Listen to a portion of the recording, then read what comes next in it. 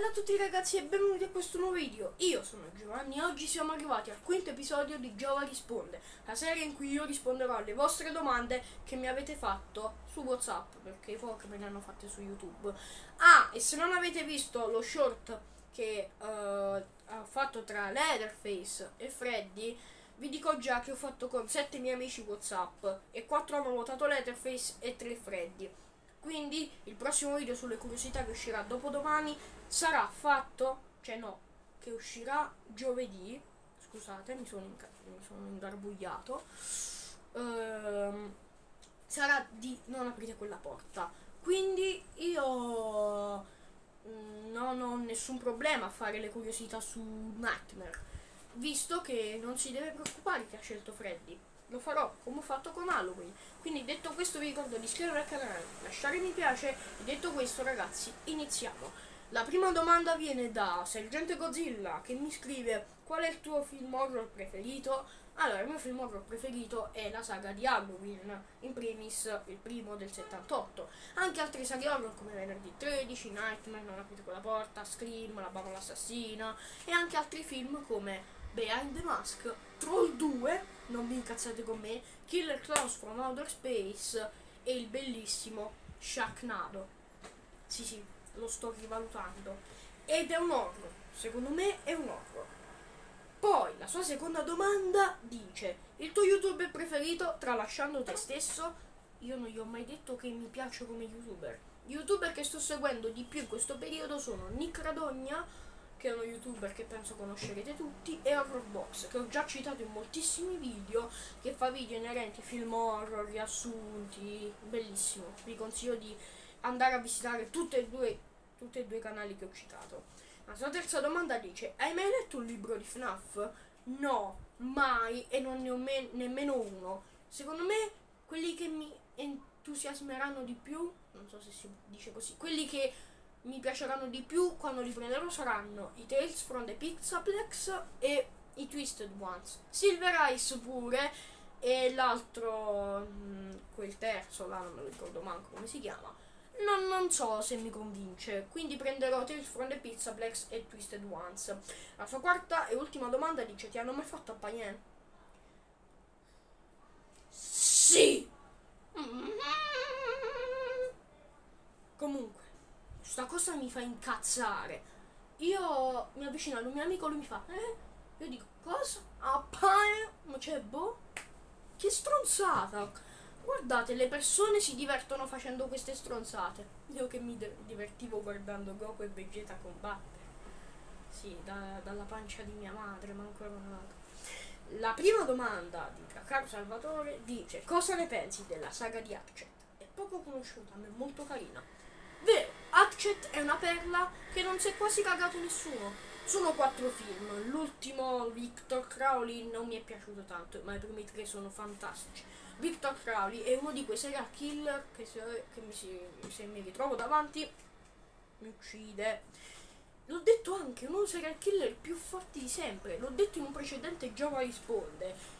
Che se si dovesse trovare di fronte al Jason umano, quello dei primi quattro film, lo uccide. Il Jason zombie è immortale, quindi lo batterebbe facilmente a Victor Crowley. Ma Victor Crowley è entrato anche in una delle nuove icone.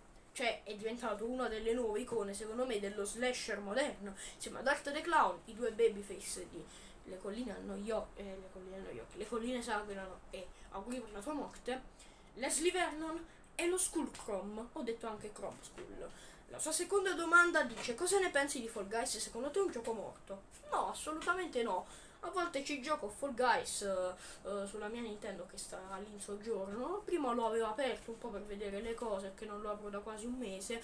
Ma secondo me un gioco non è mai morto. Fall Guys ha avuto il suo periodo di spopol spopolamento nel 2020, poi è stato surclassato da quello scempio di Stumble Guys. E poi vabbè, ma secondo me un gioco è morto quando i produttori lo tolgono da qualsiasi piattaforma. La sua terza domanda dice cosa ne pensi di Dragon Ball Kai? È una serie molto sottovalutata, ma secondo me merita molto. Sì, Dragon Ball Kai è fantastico. Ah, per chi non lo sa, Dragon Ball Kai è il remake di Dragon Ball Z con la grafica di Dragon Ball Super. Quindi un remake shot for shot, le scene di, di Z fatte con la grafica di Super. È fantastico, peccato che non l'abbiano mai trasmesso in televisione. Una volta è capitato che l'hanno trasmesso pure per errore. Io stavo guardando Italia 1. Se non mi sbaglio era mattina, non mi ricordo. Però la sigla di Dragon Ball Kai è fantastica, ve lo dico. E secondo me se un giorno lo dovessero trasmettere in tv molte persone lo guarderebbero. Molti non lo apprezzano perché dicono, eh vabbè Dragon Ball Z è migliore. Certo, è migliore di Dragon Ball Kai. Ma Dragon Ball Kai non è da buttare, secondo me. Poi, eh, adesso vediamo una domanda che non è di Giova risponde, ma l'ho trovata sotto ad un mio vecchio video di un tizio che si chiama Cartoni Morti 2866 che non ha scritto Giova risponde, però l'ho considerata una, doma- una domanda di Giova risponde. E lui mi chiede, cosa ne pensi della morte di Malefica? Bella addormentata nel bosco.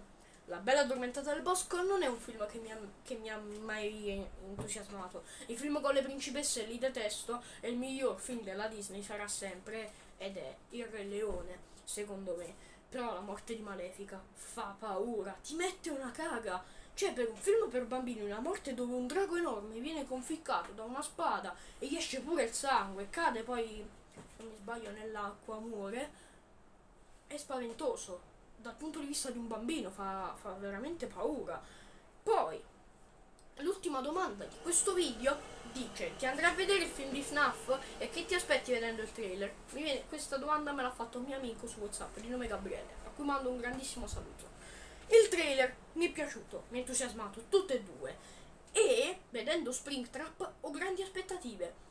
Però la cosa che forse non mi entusiasma tanto del film che gli animatronics hanno gli occhi rossi, cosa che non è mai successa, se non in alcuni casi come Nightmare in FNAF 4, non è mai successa. Però questo film se ne deve occupare la Blumhouse e hanno fatto bene, perché è la casa di produzione che può fare veramente un film di FNAF.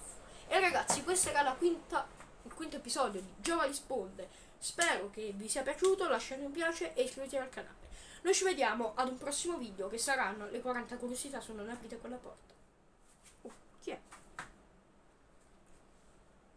Leatherface. Ciao Leatherface, come stai? Allora, vuoi venire ospite al video delle 40 curiosità? Ah, devi cucinare. Delle persone. Ah, Ok, va bene, cacchi tuoi. Chiedo a mio cugino Vincenzo se può venire come ospite. Aspetta che mo lo chiamo. Oh, chi è che mi sta chiamando? Ma non lo so. Oh, chi è che mi sta chiamando? Vinci? Ciao, ti sto proprio per chiamare io. Allora vuoi venire ospite alle 40 curiosità di non aprire quella porta? Eh, 40-20, scusa. Vedendo troppo horror box. Cosa? ti stanno cucinando.